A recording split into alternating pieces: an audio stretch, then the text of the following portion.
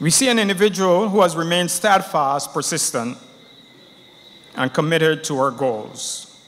Her recent success is much deserved reward for her consistency and dedication, and it gives credence to that old saying, you reap what you sow.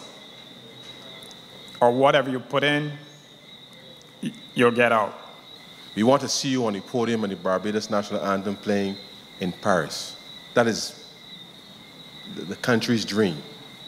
That is the country's dream.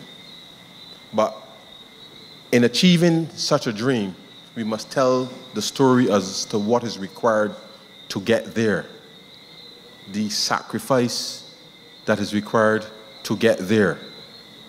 And no matter what Barbados achieves in the future, it will require sacrifice on behalf of citizens, on behalf of businesses, on behalf of government, coming together, supporting individuals, supporting companies to be able to achieve that said success.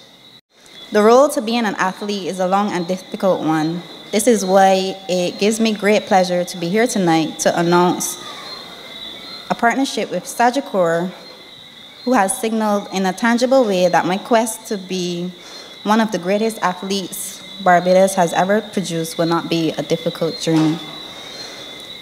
So I am extremely appreciative to Sagicor for stepping forward to challenge other private sector companies to be more involved in the development and support of our athletes.